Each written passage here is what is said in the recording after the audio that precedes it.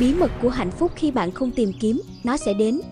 Hạnh phúc lạ lùng lắm, nó đến khi bạn không tìm kiếm nó. Khi bạn không cố gắng để hạnh phúc, thì nó đến, không mong đợi, một cách bí mật.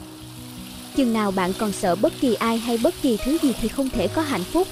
Không thể có hạnh phúc chừng nào bạn còn sợ cha mẹ, thầy cô của bạn, sợ thi rớt, sợ không tiến bộ, hoặc sợ không được ủng hộ, không được động viên, hỗ trợ. Nhưng nếu bạn thực sự không sợ bất cứ điều gì thì bạn sẽ thấy khi bạn thức dậy vào một buổi sáng hoặc khi bạn đi dạo một mình, đột nhiên một điều lạ lùng xảy đến, không mời gọi, không van nài, không trông chờ. Cái điều có thể gọi là tình yêu, chân lý, hạnh phúc đột nhiên xuất hiện ở đó. Hỏi, ngài có hạnh phúc hay không? Krishnamurti tôi không biết.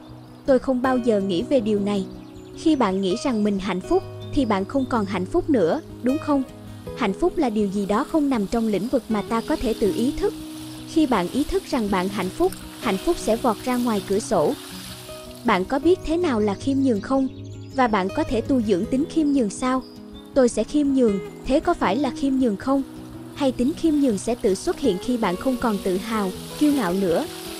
Cũng tương tự vậy, khi những thứ ngăn cản hạnh phúc không còn, khi nỗi âu lo, thất vọng, công cuộc tìm kiếm sự an toàn cho bản thân đã chấm dứt, thì hạnh phúc liền ở đó, bạn không phải tìm kiếm nó hạnh phúc không phải là điều bạn có thể tìm thấy. Hạnh phúc là một kết quả, một sản phẩm thứ sinh. Nếu bạn săn đuổi hạnh phúc vì chính nó, thì việc đó sẽ không có ý nghĩa. Chỉ có hạnh phúc khi nào cái tôi, cùng mọi yêu cầu của nó, bị loại bỏ.